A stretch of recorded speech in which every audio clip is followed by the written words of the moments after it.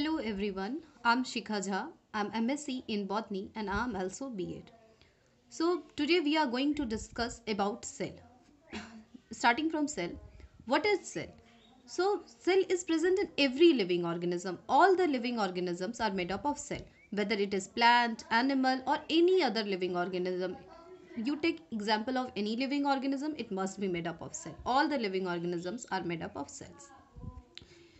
So we can say that cell is the basic unit of all the biological activity.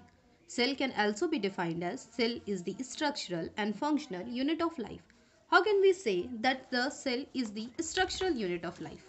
Because every living organism, for example, we take any living organism, for example, we take any animal. It has many organs in it. Any animal, for example, if we are taking about man, so we can made uh, uh, we have mouth legs every organ. They are made up of tissues. Many tissues together form organ. And how the tissue has been formed? Cell. So the structural unit the structure of the man or animal or any living organism its structural unit is the cell so cell is the structural unit and the cell defines all the function of the animal. All the organs, how they function, they are defined by the cell ultimately. So we can say that the cell is the structural as well as the functional unit of life. Structural and functional unit of life. Here I have written the definition. It is the structural and functional unit of life. The cell was discovered by Robert Hooke in 1665. He discovered the cell in the bark of the plant. The outer part of the plant, so this is the outer part of the plant, it is the bark, which is the dead part of the plant.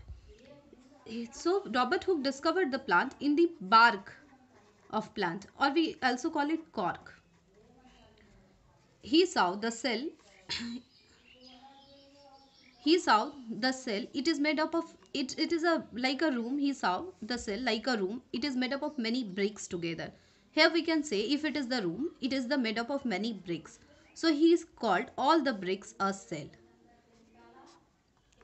In 1666 the cell all the living organisms are made up of cell.